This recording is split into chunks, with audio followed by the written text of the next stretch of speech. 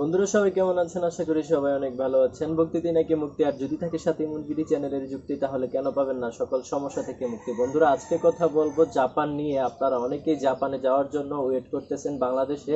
যে কীভাবে যাবেন, কি কি প্রসেসে যাবেন এবং কোথা থেকে ট্রেনিং নেবেন, সে বিষয়টি নিয়ে আজকে কথা বলার চেষ্টা করব। আশা করি পুরো ভিডিও জুড়ে আমাদের সাথেই থাকবেন। আপনারা জানেন যে দীর্ঘ কিছুদিন আগে থেকে কিন্তু, প্রায় গত বছর থেকে কিন্তু আলোচনা চলছে যে জাপানের লুক যাবে এবং সারা বিশ্ব থেকে নয়টি দেশ থেকে কিন্তু জাপান লুক নেবে, তার মধ্যে কিন্তু বাংলাদেশ নয় নম্বরের মধ্যে রয়েছে। তো সেই ক্ষেত্রে তিন লক্ষ পঁয়তাল্লিশ হাজার একশো পঞ্চাশ জন লোক কিন্তু প্রবাসীরা কিন্তু বাংলাদেশ থেকে যেতে পারবে জাপানে। সেই ক্ষেত্রে কিন্তু আপনারাও যেতে পারবেন, বাংলাদেশে একটি সুযোগ রয়েছে। তো যারা বাংলাদেশ থেকে জাপানে যেতে চাচ্ছেন, দীর্ঘ স্বপ্ন রয়েছে আপনাদের, তাদের স্বপ্ন কিন্তু এখন হাসিল হতে যাচ্ছে। আপনারা কিন্তু চাইলে অবশ্যই এখন জাপানে যেতে পারবেন। তবে জাপানে যাওয়ার জন্য প্রয়োজন দক্ষ ট্রেনিং মানে আপনি দক্ষ একজন স্টাফ।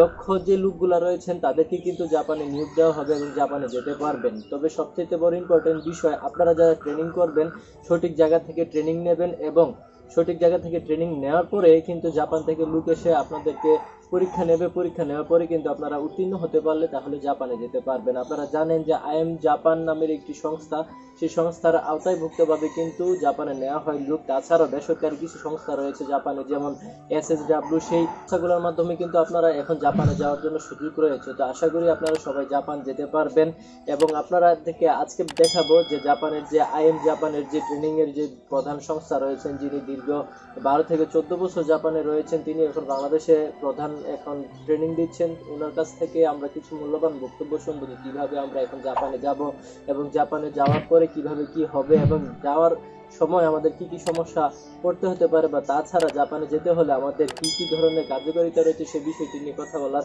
চেষ্টা করব। চলুন আমরা সেই ভিডিওতে যাই। এখন পর্যন্ত আইএম জাপানের মাধ্যমে জাপানে লোক পাঠাচ্ছি। তো টোটাল এ পর্যন্ত আইএম জাপানের একশো চল্লিশ চল্লিশ থেকে পঞ্চাশ জনের মতো আইএম জাপানের মাধ্যমে জাপানে গমন করছে। তার মধ্যে আমাদের এখান থেকে আমরা, আমাদের তেষট্টি জন টিকছে আইএম জাপানের পরীক্ষায়। হ্যাঁ এরপর দুইটা পরীক্ষা নিছে। দুইটা পরীক্ষায়। হ্যাঁ দুইটা পরীক্ষায় তেষট্টি জন টিকছে। তেষট্টি জনের মধ্যে আমাদের তিরিশ জনের ফ্লাইট হয়ে গেছে। নিজে ছবি আছে, আপনি একটু দেখে তিরিশ জনের ফ্লাইট হয়েছে। আর বাকিরা এই জুন পর্যন্ত ফ্লাইট ছিল, সবার ফ্লাইট ক্যান্সেল হয়ে গেছে। তবে যদিও এই প্রক্রিয়া খুব শীঘ্রই চালু হবে বলে আমরা জানতে পারছি। আইএম জাপানের এখানকার লোকাল যে অফিসার আছে কিবরিয়া সেন্সেই ওনার মাধ্যমে জানতে পারছি যে খুব শীঘ্রই আমাদের কার্যক্রম চালু হবে। এই জাপানে একটা বিশাল মার্কেট বাংলাদেশ পাবে। কারণ আমি দীর্ঘদিন জাপানে ছিলাম, যে জাপানিজদের কাজ, ব্যবহারে জাপানে, জাপানের মধ্যে বাংলাদেশিদের কাজ এবং ব্যবহারে যথেষ্ট খুশি জাপানিজরা। আমরা যে নয় নম্বর দেশ হিসাবে যে এস এস ডাব্লিউতে যে লিস্টেড হয়েছি এটা খুবই ভালো একটা দিক আমাদের জন্য। এখানে জাপানিজ ভাষার দক্ষতা অর্জন করতে হবে এন ফোর লেভেল ওখানে এন ফাইভ করে অ্যাপ্লিকেশন করা যাবে না এবং যাওয়া যাবে না। এন ফোর লেভেল দক্ষতা অর্জন করতে হবে এবং চোদ্দ ক্যাটাগরির যে কোনো একটা ক্যাটাগরিতে আপনাকে দক্ষ থাকতে হবে। এবার চোদ্দ ক্যাটাগরির সিরিয়াল অনুযায়ী ওরা যে কোনো সময় যে কোনো পরীক্ষা ডাকবে। ওই পরীক্ষা আপনাকে অংশগ্রহণ করে আমাদের ছাত্রছাত্রীরা এন ফোর লেভেল যাদের আছে তারাই অংশগ্রহণ করতে পারবে। ওরা পরীক্ষা দিবে। পরীক্ষা যদি উত্তীর্ণ হয়, ওরা ভাইবা নিবে। নেওয়ার পরে যাদেরকে সিলেক্ট করবে, ওদের কাগজপত্র নিয়ে ওরা চলে যাবে এবং পরবর্তীতে স্টেপ বাই স্টেপ এটা একটা সময় লাগবে। আমাদের আসলে ব্যাপারটা আপনি ভালো জানেন যে এটা সৌদি আরব মিডিল ইস্টের ভিসা না যে আসলে ভিসা, এম্বাসির ভিসা লাগাই দিল চলে- গেল। কিন্তু ব্যাপারটা হচ্ছে একটু সময় দিতে হবে। একটা ভালো কিছুর জন্য একটা সময় দিতে হবে। যেহেতু এটা তেমন কোনো কস্ট নাই। আই এম জাপানে একটা ছেলে আইএম জাপানের মাধ্যমে জাপান যে একটা ছেলে বিশ হাজার টাকা খরচ হয় না। প্লেন পেয়ার থেকে শুরু করে সব কিছু ওরা দেয়। চোদ্দ ক্যাটাগরিতে nursing, care building, cleaning, management. তারপর হচ্ছে machine, parts and tooling industries, industrial machineries, industries electric, electronics, information and information industries, construction industries, ship building and ship machinery industries, automobile, repair and machine industries, aviation industries.